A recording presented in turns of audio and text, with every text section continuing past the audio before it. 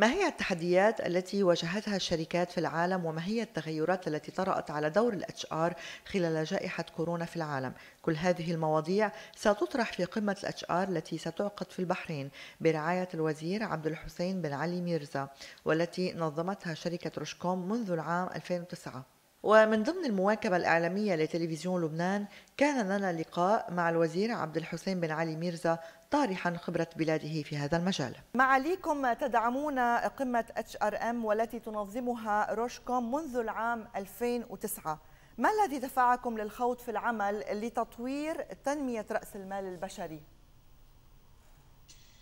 ولو يعني من أهم عوامل نجاح المؤسسات سواء المؤسسات الحكومية أو القطاع الخاص هو العنصر البشري. نعم. وأنا كنت يعني في السابق مدير عام شؤون الإدارية في شركة نفط البحرين وهي من كبرى الشركات في مملكة البحرين.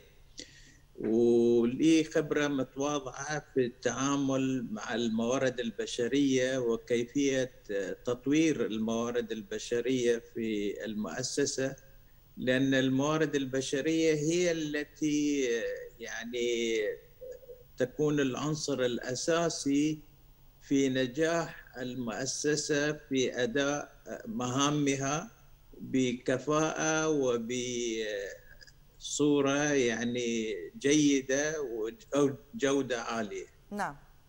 ما الذي يعني ما هي الرسالة التي ستشارك بها هذا العام مع المواطنين في الشرق الأوسط؟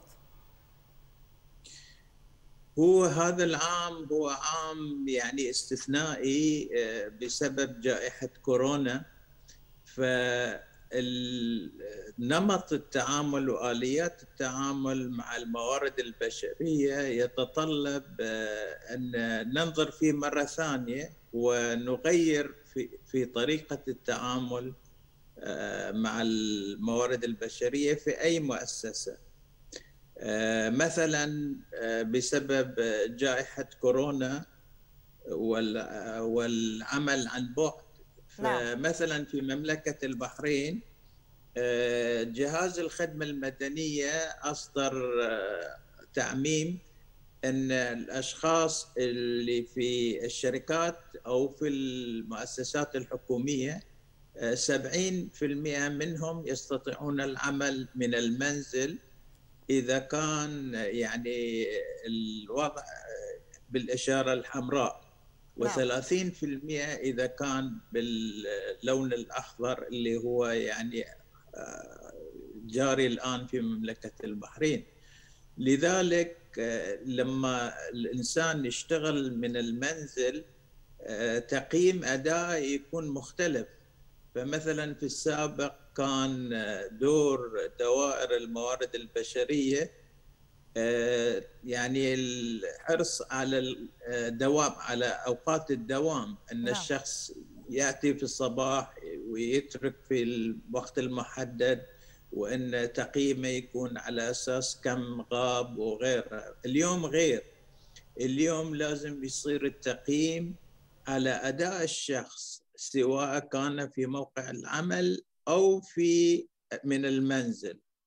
وهذا يعني حاصل في جميع دول العالم وخاصة في الشرق الأوسط لذلك هناك تغيير كبير في كيفية التعامل مع الموارد البشرية في أي مؤسسة.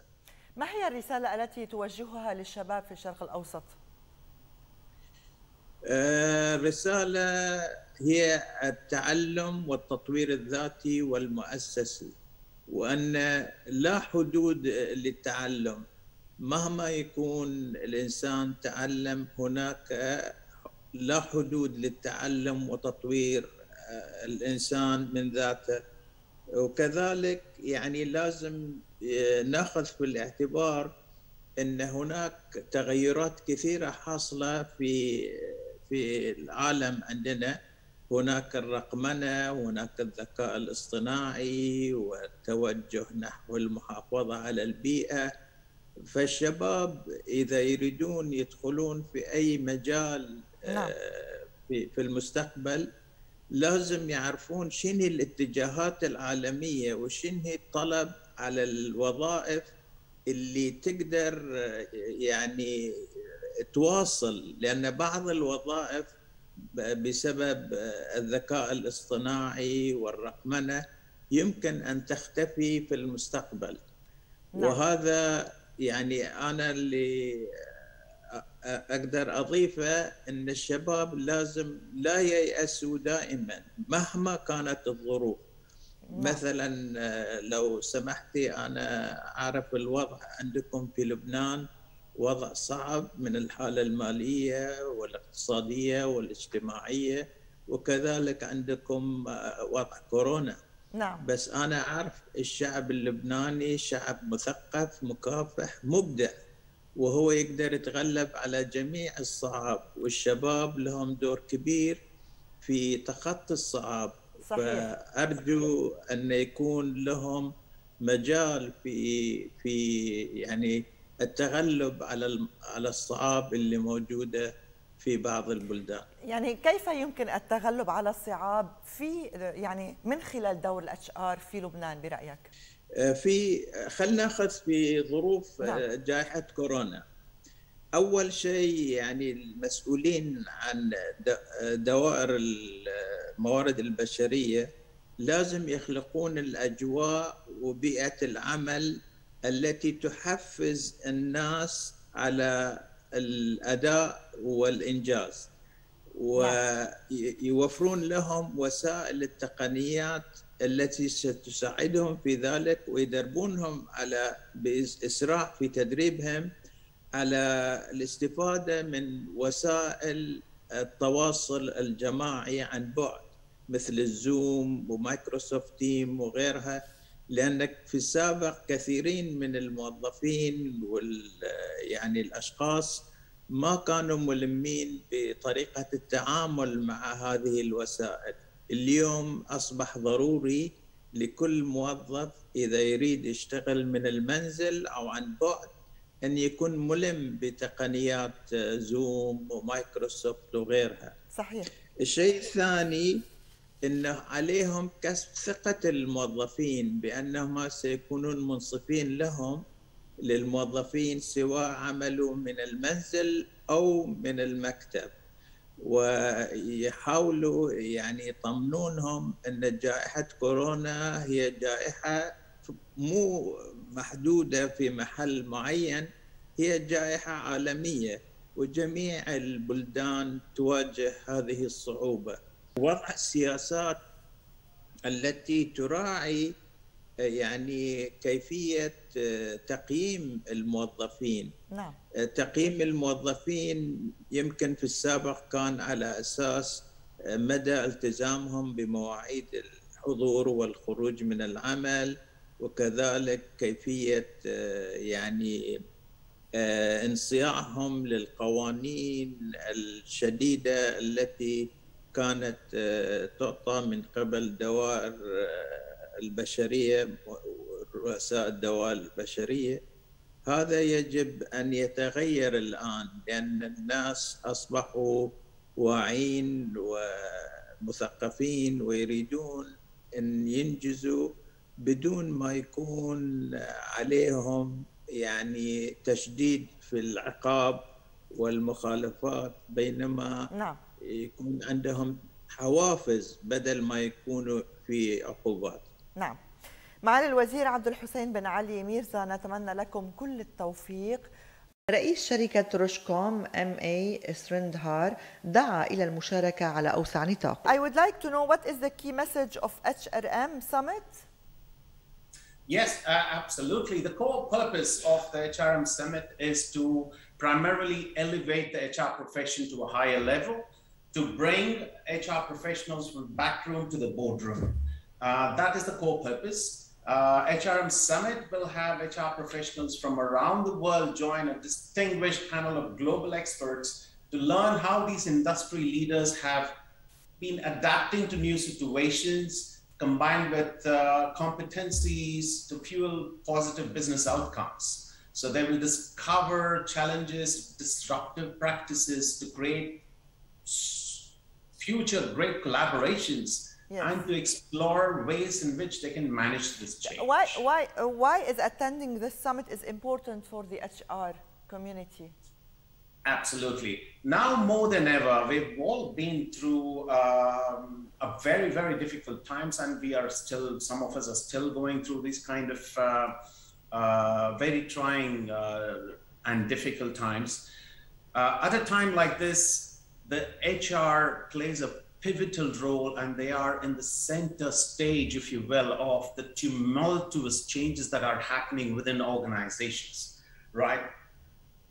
And playing a key role uh, in doing what they have never experienced before is important. Uh, so it is important for the HR to look at change that is happening, the rapid changes that are happening, try and learn from others how they are coping, and to put into practice uh, those kind of uh, collaborative uh, practices to make sure that the HR practice is elevated to a higher level. And that being the core purpose, I believe attending this summit is very important, not only to manage the current change, but also to look at uh, strategic planning in terms of looking at how to manage and cope with the upcoming changes in the coming Yes. years.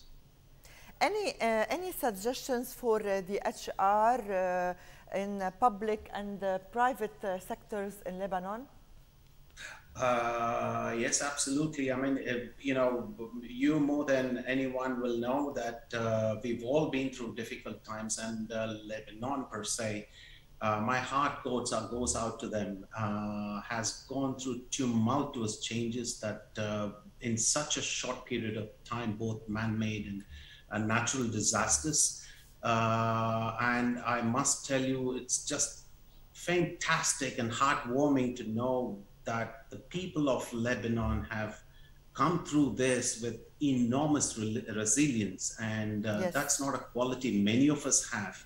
Uh, I wouldn't be in a position to give advice, but I would like to share a few thoughts uh, with the. I mean, uh, from an outsider's perspective, Lebanon has got every key ingredient that you can think of to make a great nation. And if, uh, you know, both in terms of banking, the culture, the language, the, the, the kind of stuff that uh, Lebanon exports is just amazing. And uh, going through this very short period of uh, change that is happening, albeit very painful, uh, it is great to know how the Lebanese people have just come through this, and I wish them uh, well. For the HR profession as well, uh, as such, uh, you know, I mean, in public, yes. I mean, in public and private sectors. What absolutely. do you suggest? Uh, it, absolutely. See, the HR profession per se, uh, I mean, there is a saying which says happy people make happy organizations. Happy organizations makes a happy community. And uh, who makes uh, within the organization, both in the private and the public sector, who makes these kind of, uh, uh, you know, uh, practices with emotional intelligence, with empathy, it is the HR that people turn to. And people the in the HR profession have a great opportunity right now to put those new practices in place and be in a position to bring people together to build however small organization that you have to Yes. build that to be ready for the future and one organization at a time makes the entire workforce at least a majority of the workforce in in lebanon Yes. uh, more strong and resilient